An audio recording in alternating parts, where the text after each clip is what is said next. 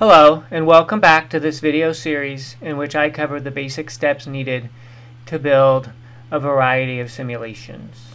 I am focusing on the corona discharge example. In this video, I will cover uh, running the simulation, analyzers, and visualizing the data. This is the last video in this series.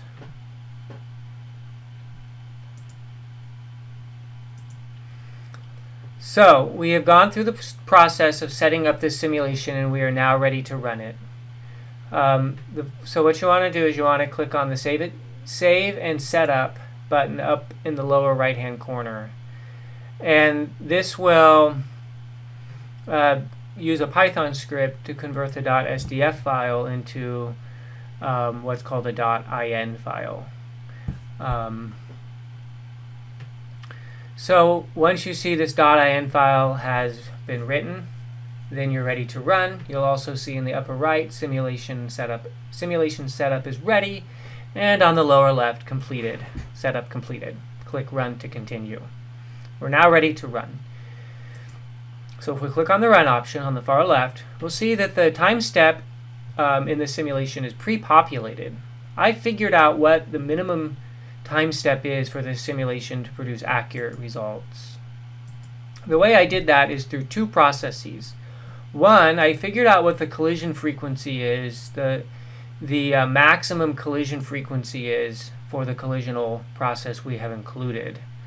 Of course, that results in a, um, a um, minimum collision um, period or time and we need to resolve this to get the collision modeling correct. So dt1 is just the collision period divided by 3. There's also another time constraint, and that is that the fastest moving electron cannot uh, cannot cross more than one cell in a time step. In fact, it should cross some fraction of a cell in a given time step. So the, the maximum drift speed is based on the potential difference. And I figured out what that maximum drift speed is uh, here, VD1. I then uh, figured out what that maximum collision time is in this quantity called dt2. So it's the minimum cell size divided by the maximum drift speed. And finally, dt is the smaller of dt1 and dt2. I then went into basic settings, and under time step, I right click, I assigned a parameter, and I assigned it dt right here. Okay, so that's how I figure out what the time step is in this simulation. I'm running it for 500 time steps, and I'm saving every 25 um, time steps. I want to save the first time the um, the time step at time zero. I want to save, so I click that box and I want to run in parallel. And once I've done that, and I specify the number of cores here, then I click the run option, or the, the run button, and I go ahead and proceed with the simulation.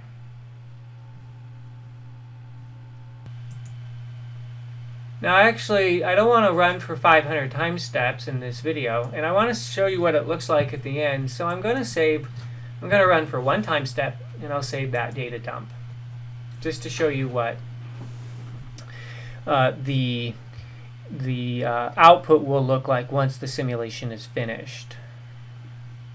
Now once once the simulation starts you'll see a variety of output um, and the and then we'll proceed to the first time step. Now we're using an iterative electrostatic field solve, uh, and so when you when you use the electrostatic field solve, you'll see these iterations. This is uh, iterations on each time step to invert the Poisson matrix or the Laplacian.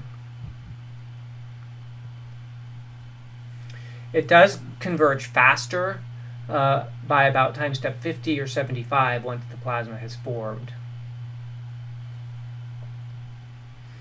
Now once the simulation, that was time step 0, so now we're going to proceed to time step 1.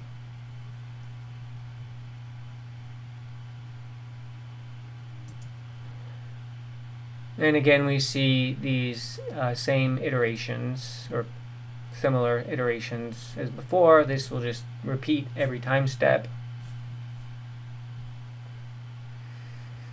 Now this is a fairly large 3D problem, and so it'll run much faster on more cores. And uh, you know, for this type of problem, you'll probably want between 20 and 30 cores.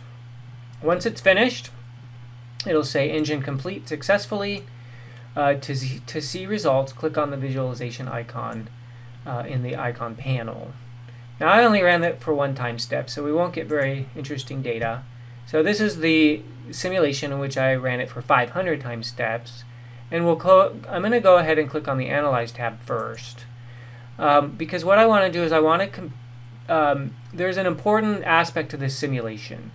The nitrogen and secondary electrons do not form until probably about time step 50 or 100. So therefore, I don't have data dumps for time step uh, 25 and 50, and, but I want all the data to match up.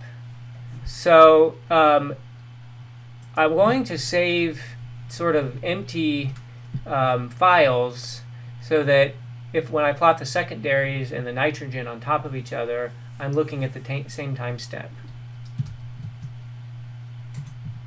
So I put N2 plus here as my species.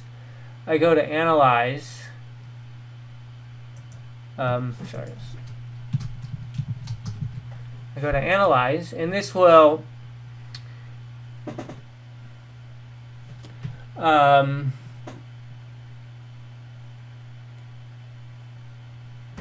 and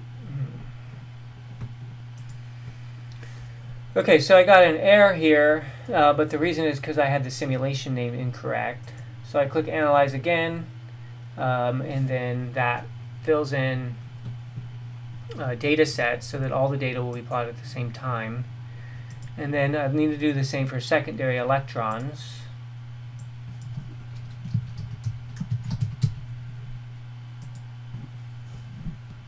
Now, the list of analyzers is over here on the left, and this is called Create Missing Particle Dumps, um, which these are alphabetical order. So here's Create Missing Particle Dumps. We can also compute the number density. Um, so if we just look for compute.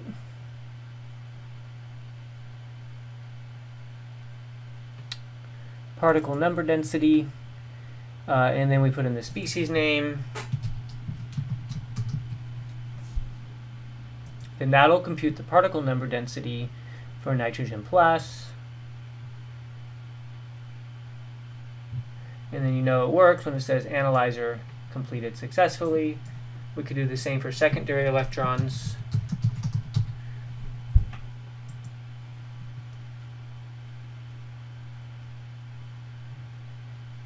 Now I click on Visualize. And I already loaded the, some of the data, but that was before I created these data sets, these number density data sets. So I'm going to go ahead and reload the data to make sure I get the number densities also um, loaded into the visualization window.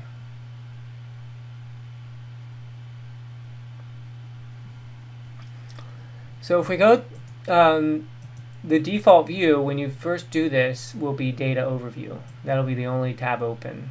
You can create other tabs by clicking up here on added, um, where it says add a data view, and then you can, for example, click on the field analyzer. Whoops.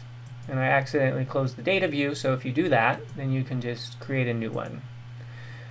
So let's look at the geometries uh, we can make this bigger here. And if we click on polysphere and polycylinder dielectric, now we have both of the geometries that we've included. Uh, if we want that outer, that's just the, the dielectric cylinder, then we could do that. And now you can see the whole thing. So there's the inner one is my dielectric, and the outer one is this is the conductor. Now let's go ahead and add some particles. So um, we can add that initial electron, which is right there. And that's not really going to do much, but that does create the cascading effect. Uh, and then we could click on secondary electrons. And you see this time zero here, everything should be at the same time. Well, the, ge the geometries will always be at time zero. But any physics that you include, if it's fields and particles, then you want everything plotted at the same time, which is what this create missing particle dumps does for you. So um, let's just see what happens. Let's uh, scroll through time. So the electron is being accelerated in that potential difference, and now you're seeing this cascading effect of the secondary electrons that form. And if we want to look at the uh, nitrogen, then we can also uh, view that. All right, so there's our corona discharge occurring before our very eyes. Um, and if um, in those um, population, those species will accumulate on the dielectric, which modify the electric field. We can plot the, the electric field on top of that if we want. Um, so we go to scalar data.